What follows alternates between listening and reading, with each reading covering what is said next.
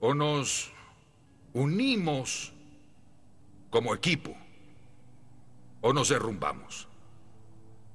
Paso a paso, jugada a jugada, hasta terminar. Estamos en el infierno, caballeros. Créanme. Y ahí podemos quedarnos, dejar que nos hagan pedazos o o pelear para volver a la luz y salir del infierno. Un paso a la vez. Es cierto. No puedo hacerlo por ustedes. Estoy viejo. Observo a mi alrededor tantos rostros jóvenes y pienso que tomé todas las decisiones equivocadas que puede tomar un hombre maduro. He, he dilapidado todo mi dinero. Pueden creerlo o no. He ahuyentado a todo el que me ha querido. Y ahora ya ni siquiera resisto ver mi rostro en el espejo.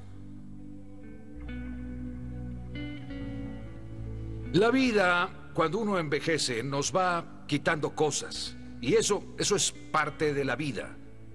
Pero nos percatamos cuando empezamos a perder cosas. Descubrimos que la vida es un juego de pulgadas, como el fútbol.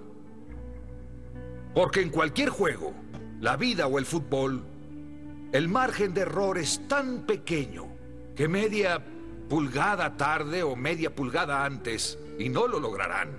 Medio segundo muy lento o muy rápido y no lo atraparán. Las pulgadas necesarias están siempre a nuestro alrededor. Lo creo. Sí, cierto. Están en cada oportunidad, cada minuto, cada segundo. Sí, bien. En este equipo peleamos por esa distancia. Sí, claro. En este equipo hacemos de nosotros mismos y a los que nos rodean pedazos por esa distancia. Claro que sí. Claro. Llegamos arrastrándonos por esa distancia. Sí. Porque sabemos que cuando sumemos todas esas pulgadas, eso nos va a marcar la diferencia entre ganar y perder. Entre estar vivos o muertos. Y les diré que en toda pelea es el sujeto dispuesto a morir el que ganará esa pulgada. Sí. Y yo sé que si quiero seguir triunfando es porque estoy dispuesto a pelear y morir por esa pulgada. Claro. Sí, es cierto. Porque el significado de la vida Claro.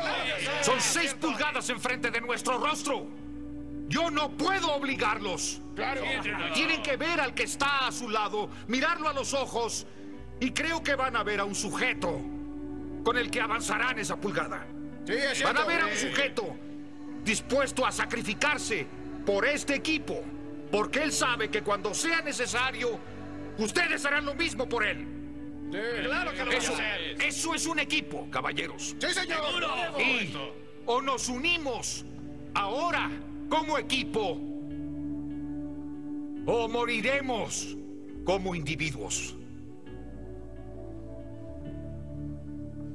Eso es el fútbol, chicos. Es el secreto. Ahora, Así es. ¿qué es lo que harán? ¡Ganaremos!